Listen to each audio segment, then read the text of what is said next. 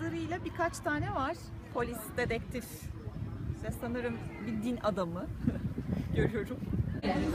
Yani var diyebilirim. Yani pek dikkat edemedim de erkek galiba. Ee, evet.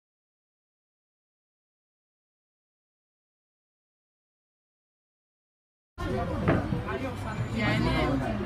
bilmiyorum. Sanki kız emojileri de yapabilirler de bence hani o kadar da böyle gerekli bir şey değil. Sonuçta emoji o kadar da ciddi bir şey değil.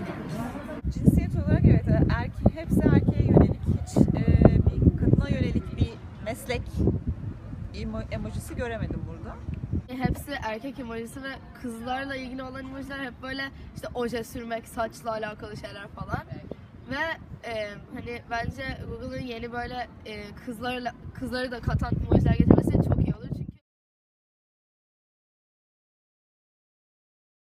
E, bildiğim kadarıyla kadınlara yönelik, kadınların mesleklerine yönelik emojiler tasarlamaya çalışıyorlar.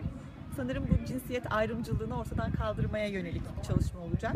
Çünkü yani baktığımızda hep erkeklere yönelik yapılmış ve düşünülmüş.